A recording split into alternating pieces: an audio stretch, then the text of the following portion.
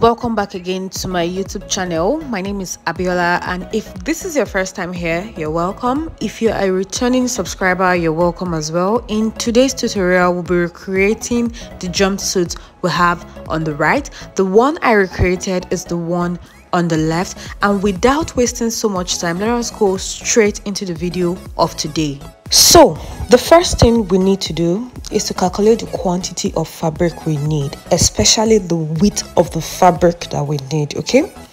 So my hip circumference is 41 inches. You need to note your own hip circumference. So we're going to divide our hip circumference by 4 mine being 41 inches i will divide that by 4 to have 10.25 okay? The next step depends on how wide you want your trousers to be.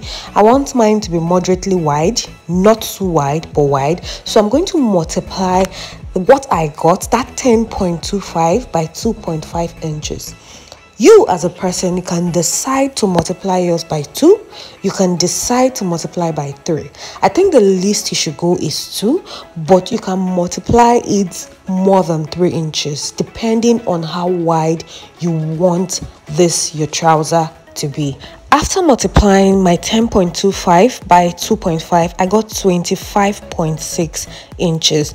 That is how wide one part of the front trouser will be. Just one part of the front. We haven't calculated for the back. Therefore, to determine the quantity of fabric needed for the two front parts, you would need to times this 25.6 by 2. And that gives 51.2 inches. And you would need to add that 51.2 inches to your crotch extension which is very important. Now how do you calculate your crotch extension? You get that by dividing your hip by 16 inches. My hip is 41 which is why you have 41 at that point divided by 16 inches. So 51 plus 2.56 which is what I got from dividing my hip by 16 inches will give me 53.76 so that is the total width of fabric needed to cut out the front part of our trouser. The length of the fabric needed depends on how long you want your trouser to be. For me I just want it to be 42 inches.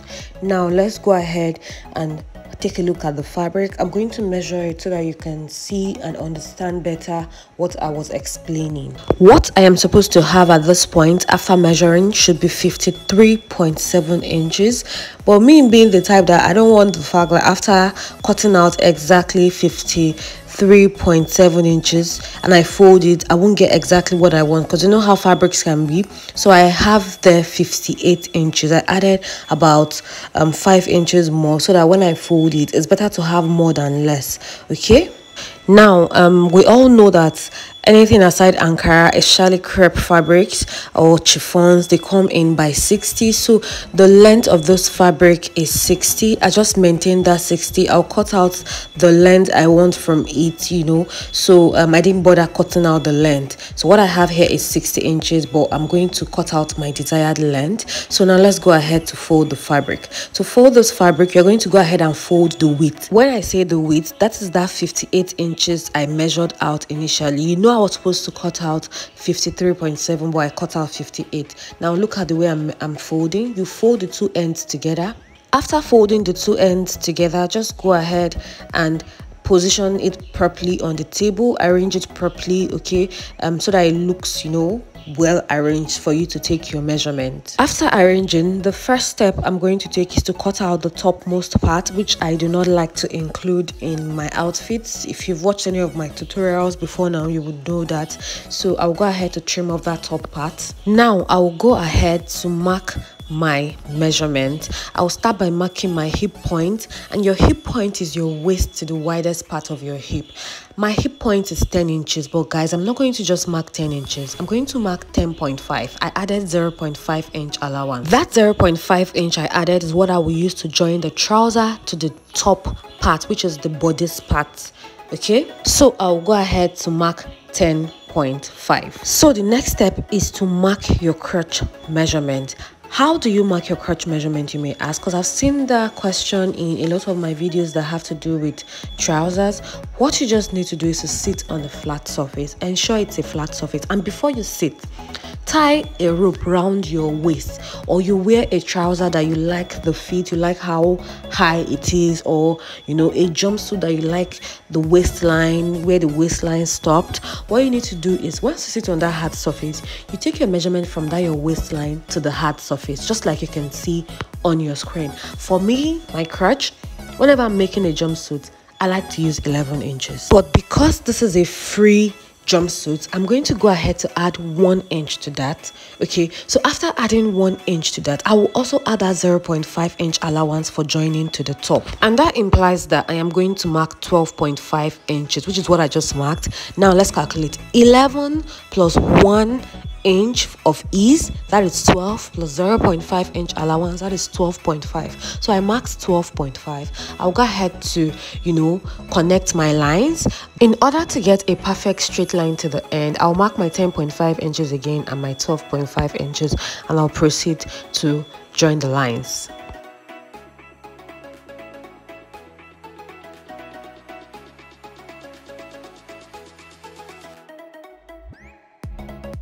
Now I'll go ahead to use my clips to hold this fabric in place. This is a chiffon fabric that moves around anyhow. So I'm just going to, you know, stop it from moving around by putting my clips okay?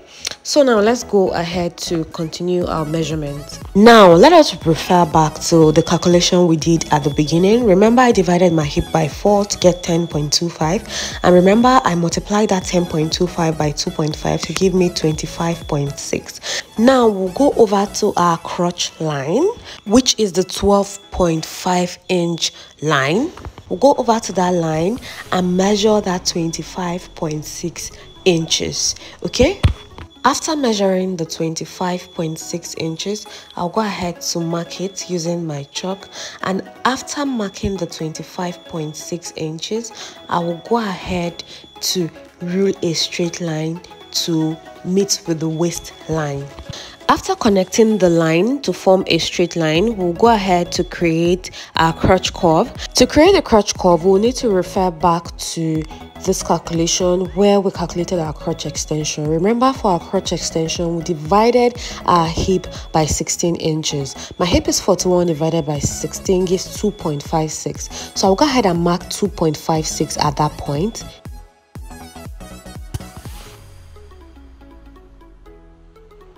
Then I'll proceed to come out from that angle by 1 inch. After coming out by 1 inch, I'll go ahead to connect the point using my freehand. You can use your curved ruler. So once you are done connecting guys, go ahead and move your fabric back to the edge, back to the folded edge, just the way you see me doing. And once you have moved back to the folded edge, on the waistline, proceed to go in by 1.5 inches from that waistline and mark it. So once you go in by 1.5 inches just to give our trouser a bit of shape okay? Because we don't want it to be straight do you get? So i'm going to go ahead to connect from that waist to the crotch line just like you see me doing. From the hip to the crotch line i'm going to make it a bit curvy.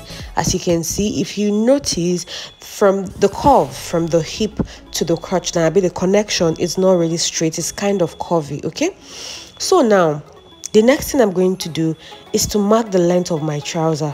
Like I told you guys, I want my trouser to be 42 inches in length, but I'll go ahead to add 2 inches seam allowance. Adding 2 to 42 gives 44 inches. So what I'm going to be marking is 44 inches. 2 inches that I added is my hemming allowance, okay? So I'll proceed now to just, you know, mark it and I'll go ahead to connect that into a straight line. I'll connect from beginning from the folded edge to the end. And once I am done connecting I will also go ahead to shape the other side. And I'll do that by going in by one inch from that point. And I'll connect from that one inch to the crotch um, line area. Okay after that, I'll move on to the other side and also shape it a bit by going in by one inch. Then I'll connect from that one inch point to the crotch line as well. Okay, so guys, at this point, we are done drafting. The next step is to cut out please just watch closely how i cut out my trouser because you do not want to make any mistake at this point like there's no point making a mistake at this point so just look closely and follow suit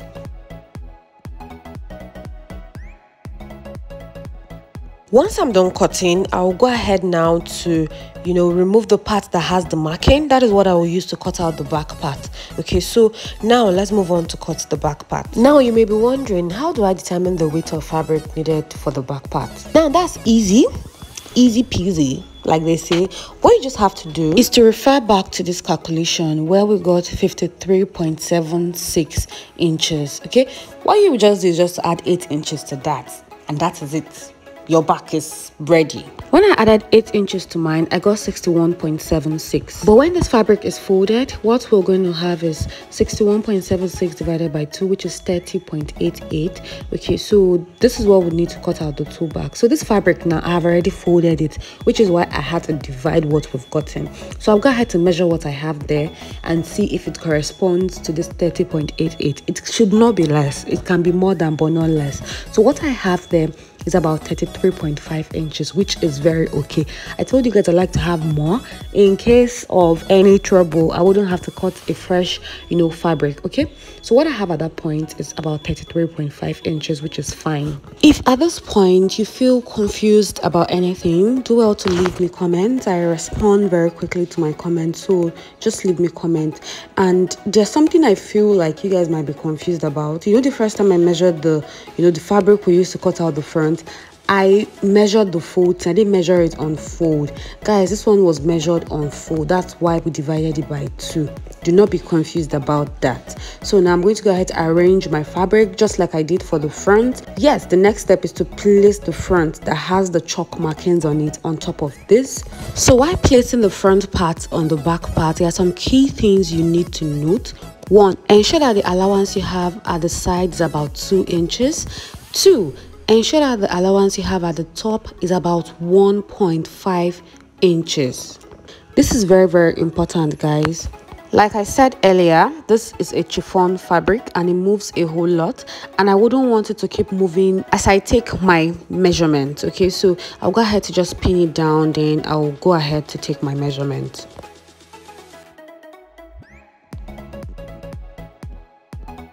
Once I'm done pinning down, the next step is to elongate this line or extend the line. So after extending the line, I'll go ahead to mark 2 inches, which is supposed to be the space for my bum bum, okay? Then at this point, because our back is not straight, I will go in by 2 inches as well, okay? Then I will go ahead to try to connect the two of them just watch how i'm connecting guys this first curve i did i didn't like it so just pay attention before you connect yours okay? So guys after connecting i would go ahead now to um, mark out my zipper allowance. I would want my zip allowance to be one inches wide one inch wide okay? So i'll proceed now to mark one inch okay to where i want my zip to stop. So guys i'll go ahead to create my zipper allowance. Uh, like i said my zip will be one inch. So after marking the one inch i will try to finish up the other end so that it's easy for me to connect my zipper. So from the waistline there i'll mark one inch up. Can you see after marking that one inch up it's easier for me to create my um, zipper. And I want the length of this my zipper to be about 9 inches. So I'm going to go ahead to mark that 9 inches and I would extend all the lines and connect all the lines properly. So the next step is to move to the other edge. So I'm going to pull my fabric and move to the other edge. And I will go ahead to mark 2 inches at that point I'll mark 2 inches and I'll mark 2 inches as well and I would go ahead to connect them just like I connected before. Then I would also go back towards the waistline, okay, and connect from that one inch at that point to the two inches by the side and make sure the line is straight, okay. This is just to all these things we are doing, all this serere is just to give space for our bum bum, okay. So um, I will just do that. So now i'll go ahead to move this fabric towards the length of the trouser that's down. And once i get down there i'll go ahead to pin it down as well because i didn't do that before and i'll mark one inch by that side. After marking one inch i'll go ahead to connect from that one inch point to meet with that two inches we came out by at that crotch area I hope this is explanatory. If you have any questions, do not forget to leave it in the comments and I would reply as soon as possible. Now I'll flip back to the crotch area. Okay, and I would go ahead to use my curved ruler to connect from that 2 inch that came out by at the crotch line and just connect it like this basically that's all you need to do at this point. So i'll go ahead now to cut out everything that we have drafted. Guys look closely. Look at how i'm cutting mine so that i do not make any mistakes. I feel like it doesn't make any sense to get to this point then make a mistake because you didn't cut well. So please and please watch closely and um, go ahead to cut yours properly Another important part is the zipper allowance area. When you get to that point, carefully cut it out as well. Now it's left with the other side. I will just go ahead to cut it out carefully and guys we are done drafting the trouser part of this jumpsuit now it's time to work on the bodice the first thing to note while working on the bodice is how to fold your fabric you know you have to put your fabric on fold and um, how do you know what you need at that part? Um, you need to divide your bust by 4 my bust divided by 4 is 9.5 then plus 1 inch allowance that's 10.5 so i'm trying to get 10.5 at that point as you can see. So um, i'll go ahead to keep um, adjusting until what i have at that point is 10.5 and right now that's what i have. I'll go ahead to cut off the upper part. Like i said earlier what i need to have at that point is 10.5 my bust divided by 4 that's um 38 divided by 4 is 9.5 plus 1 inch seam allowance that's 10.5 so let's proceed now. My shoulder width is 15 inches. 15 divided by 2 is 7.5 so i'll go ahead to mark that 7.5 inches. After which i'll go ahead to mark the neck width i want to work with which is 3 inches. I'll mark that 3 inches. Then the neck depth i would like to work with is also 3 inches. I'll go ahead to mark that as well and i would go ahead to connect um, the 3 inches. I'll connect the first 3 inch to the second 3 inch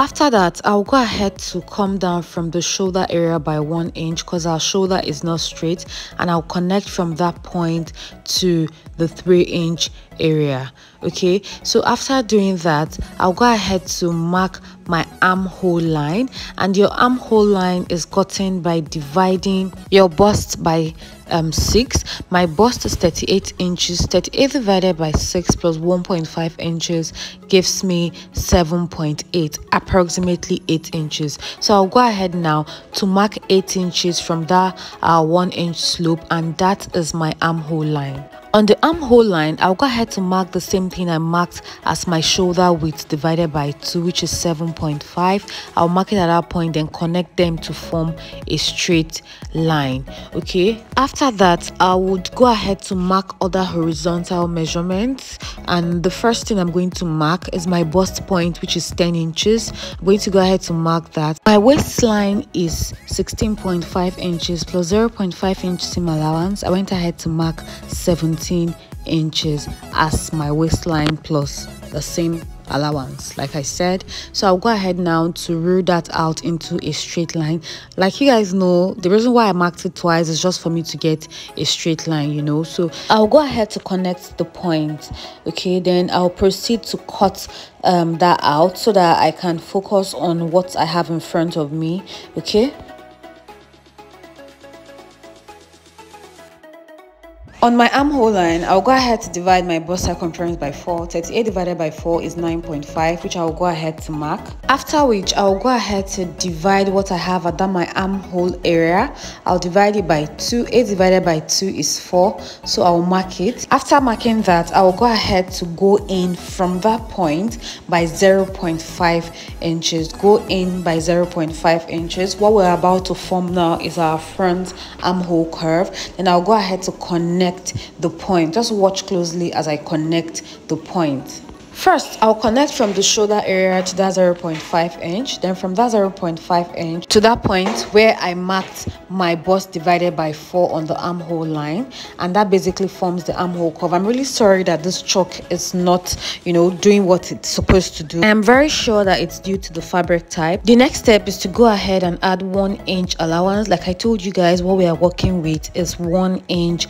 seam allowance. Now, the next step is to mark our waist divided by 4 my waist is 29 29 divided by 4 is 7.25 so i'm going to go ahead now to mark 7.25 after marking 7.25, I'll proceed to add 1 inch seam allowance and after marking 1 inch seam allowance, I'll go ahead to mark 1 more inch for that because I'll be adding that to the top part of this um, um, outfit. So I'll go ahead to connect the points together. I'll connect from the waistline to the armhole line guys we are not done just to reduce um, time and everything we are going to draft the neckline for the back and the armhole line for the back before we proceed. The neck depth for the back neckline it's um one inch. That's what i'll be working with. So i'll go ahead to mark one inch and connect to that three inch neck width and that forms our back neckline after which I'll move over to the armhole area to form our back armhole curve. This is just going to save us time and energy. Now let's draft out the back armhole. What you're going to do from that point where you took your half um, inch that you came in by half inch. For the back armhole you're not going in by half inch. What you're going to do is to connect from that four inch midpoint to the point where you divided your bust by four. So you're connecting from that 4 inch midpoint to the um, 9.5 inch that you marked at that point guys this is very easy. It's just your knowledge of basic bodice how you draft your back armhole for your basic bodice. Please just go ahead and do that. I am sorry this chalk is just I don't know. In fact, I just know it's a fabric type. So please, pardon me. Pardon me. Now, the next step is to bring out fabric for the back bodice. And the back bodice unfold to just be bigger than the front bodice by about 2 inches because of the zipper allowance. Okay, so I'll go ahead and fold like I did before now then I'll go ahead to place the front pattern on top of it whilst ensuring that I have 2 inches seam allowance at the zipper area. Once I have realized or once I have ensured that I have that 2 inches seam allowance at that point, I'll go ahead to mark my 2 inches um, allowance at that point. That is not what we're using for our zipper allowance. I would explain everything as we move along okay? So i'll place the front pattern on top of it like that. Can you see so i will go ahead now to extend the lines the neckline as well as the waistline okay? the zipper allowance i will be working with is 1.5 inches. So i'm going to mark 1.5 inch at this point and at the waistline i'll mark one inch just to get rid of zipper bulge. And i'll proceed to connect the point. I know you might be wondering why did you take a, zipper allowance of one inch at the trouser area and you're taking 1.5 inch at this point. Make it make sense. This will be explained properly in the next part of this video because I cannot join the cutting and the sewing part together because this video is already so long at this point about 23.39 minutes or 42 minutes at this point. So guys because of the um one inch we marked at the waist. That implies that we took out half inch from our zipper allowance to you know get as to get rid of zipper bulge. So i'll go ahead to mark that half inch again at the side area. Once i mark the half inch i'll connect that to the armhole line. That half inch that we added is just is just for the back bodice. Once we are trimming out everything for the front bodice guys we're going to trim out the half inch. It's not needed at the front. I hope this is explanatory. If it's not please ask me questions in the comments and I would reply ASAP. Now let's go ahead to cut out everything relating to the back. Please look closely as I cut out. I'm currently cutting out the waistline. Then now I'm cutting out the side seam. After which I'll go ahead to cut out the back armhole. Okay. So notice there's a difference between the back and the front armhole. So I'll go ahead to cut out the back armhole. Then I'll cut out the shoulder area after cutting out the shoulder area i'll proceed to cut out the part of the zip that we do not need okay? That part that we use to get rid of zipper bulge. And i'll go ahead to cut out the neckline area. For emphasis purpose the back neckline. So now it's time to remove the back and finally finish getting rid of our zipper bulge. And how would we do that? We'll go up from the waistline by half inch and we'll connect that to the side seam after which we'll go ahead to use our scissors to trim that out. Now let us finish up with the front neckline we'll cut up the front neckline then we'll also cut up the front armhole area. Then one more thing we'll cut off that 0.5 inch we added. We'll also go ahead to cut it off. Guys i cut mine off but it wasn't cut on camera. Please just go ahead and cut yours off. And yeah the next step is to go ahead and place your front bodice on fold. We are trying to cut out a facing for the front bodice and the back bodice.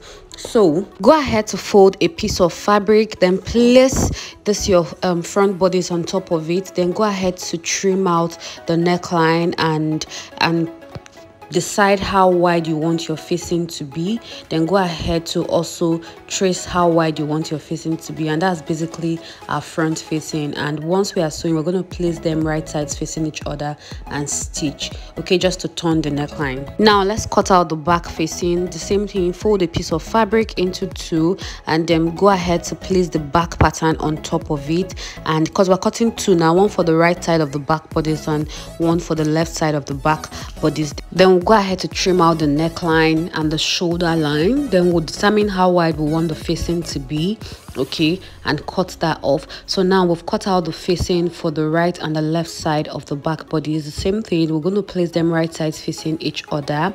And we're going to stitch using 0.5 inch same allowance okay? See them the next step now is to cut out your pocket fold a piece of fabric again place your hand on top of it the way i'm placing mine mark um the first 0.5 inch line towards your thumb. Go ahead to ensure that the line is very very visible okay? Half inch okay? Then the next step is to measure how wide your pocket will be. It's going to be seven inches so mark the other point and you know create the 0.5 inch area. The next step is to go ahead to cut your pocket cut out the 0.5 inch then proceed to trace the outline of your hand. Ensure to add enough allowance around your hand okay? Then the next step is to cut from the other 0.5 inch and trace it to meet the end. Then open up your pocket into two and yes we have our pockets. Now we're going to go ahead cut out two more because we need more than these two. We need four pieces I'll go ahead to fold a piece of fabric again into two. Then I'll go ahead to place the one I've already cut on top of it. Then I'll go ahead to use my scissors to trim them out.